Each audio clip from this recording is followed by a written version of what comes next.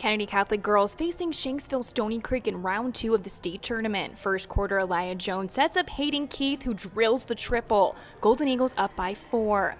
Second quarter, Golden Eagles with the steal. Paris Gilmore sends it ahead to Jones, who lays it up and in. Casey up by six and adding on.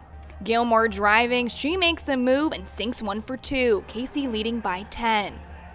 Later, Bella DiNardo on the move and she knocks down the jumper. DiNardo finished with 15. Casey cruises to a 55 29 win.